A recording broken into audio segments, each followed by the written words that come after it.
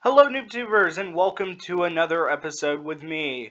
Alrighty, so we're going to be going over Military Tycoon, a little bit more in depth, and I'm going to try to keep this video under 15 minutes because I filmed this video twice and it ended up being over 20 minutes all two times. So I need to become better with just time management. Also could probably edit myself out more. Anyways, so whenever you join the game, you're immediately going to be presented with this page of countries to choose from. This is not every country in the world, but out of all these countries, 20 of them, well, if you're on a full server, 19 of them will be taken and you'll get to choose. So we're going to go with, let's go with a Nordic country. I recently got my ancestry test back and I have some Finnish in me, so I'm going to go with Finland. Now I mostly have English and Irish and some French, but I'm going to go with Finland. And then you're going to get a login reward. So if you're playing this game for the first time, you're going to get like a $1,000. So I'm going to go with that, you know, take it day four. Now, I have been playing this game for quite some time because I'm at max XP. And I also have a lot of money, 33,509,000. About to have more when I step on this plate. Yeah. So anyways, you're to start out and you're to have none of this. None of this will be here. All this, this base, that tower. Um, now that over there will will be there, but it will be uh, it will be less developed. But that little um, bunker right there will be there, and this won't be here. None of these huts will be here. These are where your workers are, and you have more workers. This cute little dog over here, you're not going to have this cute little dog for quite some time. I'm going to go ahead and send him off to guard. I think I'm going to name him, um, I'll name him Steve. That'll be Steve the dog. Okay. But you will have this. You will not be able to rebirth, though. Whenever you're able to rebirth, and I'm going to go ahead and explain to you what rebirthing is just real quick. That is when you unlock vehicles and stuff, like over here. This tank right here, this anti-air tank, you want... And I accidentally stepped on that. No. No, I don't want to buy that either. Okay. You're going to unlock this at 12 rebirths. And that's whenever you build everything that you can build with your in-game cash. You stepped on all the little green buttons that appear you, you stepped on all of them, bought everything, and you are able to rebirth. So you're going to rebirth, and you're going to lose all of this again. You're even going to lose all your money. Yeah, pretty harsh. But that doesn't really matter because in, in here, you're making a bunch of money. Like I have over, you know, over a $100,000, I think that I had right there. Yeah, so, and you make money with these workers. These are going to be the first set of workers that you build. And if you do for 85 Robux buy the um, Super Soldier, he's just consistently shooting at that, making you money. So you're going to buy these workers. And then after you buy everything down here, including all your weapons over again, which you have some pretty good options, I bought the Scar for 85 Robux, and I bought this right here for 399. I don't, unless you just have a bunch of Robux, you don't really need the anti-air um, RPG, but I really love it. I've shot down multiple planes with it, and it definitely helps you hold your own when you're most vulnerable, and that's when you're on the ground, on your feet, running back to your base. Also join the group um, Infantry Interactive, and you'll get a free MP7. I think it's a pretty cool little gun. Has a, you know, it's pretty quick and stuff, pretty small, pretty good fire rate. Only holds 15 shots though. I honestly suggest going with the Kriss Vector if you have the option, but hey, it's a free submachine gun, so take it. These will be the second set of workers that you probably build, if assuming that you build the second floor on here, and assuming that you don't go out there and build those huts first. Now, whenever you come out here to these huts, I'll just go ahead and explain, you're going to have some green buttons. Don't bother clicking the ones that are way out here. Go in, hop over them if you have to click the button that's going to be right here and the one that's going to be right here, and those will immediately build your workers. Don't bother building the actual shelter itself and come in here and do the same thing and go in there and do the exact same thing. So now you have workers.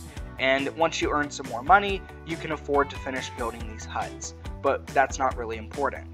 And once you build some more things outside and inside, you will gain access to this bunker, which will be closed off with a button sitting next to it. You're going to want to come down here and build more workers because as with any tycoon game, you, investing in making money is the first priority. So then you're going to come build all of these guys right here, and these are more expensive, so you know you may have to buy one or two at a time. And in this room, you can unlock more gear. This monitor right here is $50,000. It allows you to upgrade any vehicles that you want to upgrade. And yeah, you will lose all of these upgrades every time you respawn. That's just a fact. You have some cool night, night vision, smoke grenade, flare gun, um, spike trap C4. Whenever you're... Oh, someone texted me. Okay. Whenever you go to take over an oil rig, which I'll show you in a moment, bring the C4 with you. And then I will suggest, especially if you're new, put this on right here so that you will not drown.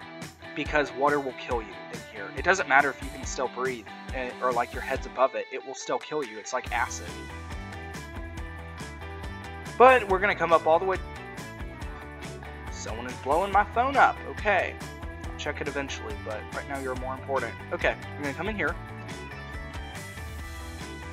You have this nice little um, Spec Ops, little Special Ops outfit.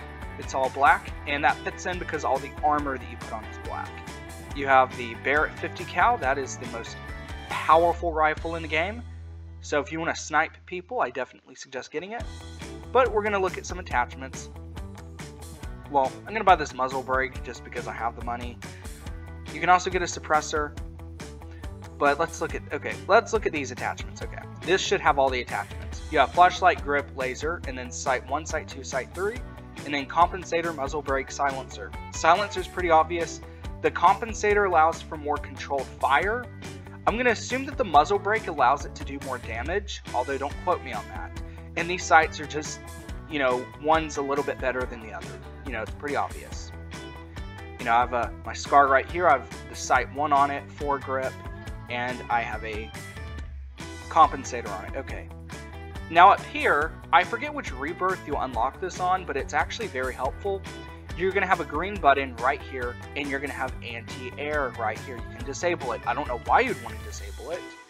I guess if you were holding peace talks or something on your base with a non-ally, which we'll get into in a second. You have a helicopter pad up here. You can also turn these red screens off. This is what allows strangers to enter your base. Because if anyone other than someone you're allied with even touches that yellow, they die. It doesn't matter how much of their body goes into it, they die. Over here you have your airfield, you have different planes that you can buy. Wow, this video is already super long, okay. You have the bomber right here. Now, just because I didn't know this when I first um, started playing, you're going to hit your F key to bomb. You also hit F to fire missiles. Unless you're in the attack helicopter, then you just click. Alrighty, we're gonna come. Actually, we're gonna come down. No, well, over here, I'll, I'll go ahead and show you. They have a. They did have an Abrams tank event. Now they just have an egg event, and that is where. This is the tank that you would have gotten if you. Now maybe you have the Abrams tank, but this is how I got a tank without having to buy the tank Game Pass, which is $440. It's pretty pricey just for a tank. I don't suggest going with it. Take advantage of events where you can get cool vehicles. Okay, we're gonna come over here, and this is your dock. You actually have, well, that's more like a shipyard over there, I would say, but you have different options. You have a destroyer right there, which is really cool. It has a pilot controlled gun, pretty powerful. I suggest upgrading it to use. You have an airship, which can go on land. You have a jet ski. You have a speedboat, which has a gun in it, so it can hold you and a friend. That is an attack submarine. And then you just have a speedboat. You just want to speed around on the water, you have a submarine with no weaponry. And then you have a warship. It can hold two people comfortably. Yeah, it's, it's pretty cool. And over here, by the way, that's going to cost a lot of money to get, and you will have to rebirth to unlock all that stuff. Just letting you know. Over here are your buildable items, meaning that you will not lose them once they're built. So we're going to spawn in the B-17, and mine's fully upgraded. But whenever you get yours, it's going to be a grayish camo color, and it's only going to have a set of two propellers, if I'm not mistaken. But yeah, it, it won't have this cool camo color and stuff, and the guns won't be as powerful. And now you have the dive bomber, which is, as you can see, it is new and permanent. I'm spawn that in. Just click on that again. Dive bomber is pretty cool. You hit F to bomb, and you're just gonna click to shoot. These guns are they will shoot straight. The other words, whenever you move your cursor, the guns will not move with them. Well, will not move with it, so they only fire straight ahead, which is a disappointment, to be quite honest. This is an anti-air system right here. This, I suggest building this or the aircraft carrier first. And I'll tell you why in a moment why I suggest building the aircraft carrier first. So, and then you have the Puma. This is limited permanent, so please guys do your Easter egg hunt so that you can get it. It is a really cool vehicle, and once you fully upgrade it, it is OP. It's like a, it is like a really fast tank, and by fast I mean the the, the follow-up shots from it are amazing. So yeah, make sure make sure to upgrade that. And you're going to upgrade all these buildable things by sitting in the seat and see I've done all the research for this I can possibly do. Even if I scroll all the way down, there's really not much more to do. And I'll just upgrade it and it will cost a few million dollars. We're going to come out here to ships. I suggest building the carrier first just because you get access to the warplane, which is really the warplane is the jet that I accidentally spawned over there when I was trying to spawn the tank. It, it basically it's basically a fighter jet. I mean that's exactly what it is. You have the bomber and then you have the warplane. Right here. The unfortunate thing is though, it does not upgrade whenever you upgrade all your stuff. So the one that you spawn on here, unfortunately, it, it just doesn't upgrade. I don't, I don't know why. And then right here is a game pass. It's a fighter jet, although it's just the A-10 Warthog. You do not have these guns on the aircraft carrier, nor do you have those anti-air guns right up there, which is unfortunate. You have you have your helicopters right here. You have your Apache. Um, that's an expensive game pass. And then you have some planes over here that you can buy, like your Spitfire. Now those guns do move with your cursors you're shooting, which is really cool. In fact, I'm going to go ahead and hop into my Spitfire. Now, to fly a plane, you're just going to hit E, just touch it, and then you're going to use um, ASWD in order to go up and down and stuff. You're going to hit W to go up, and then S to go down, and then you're going to click E again to stop the plane.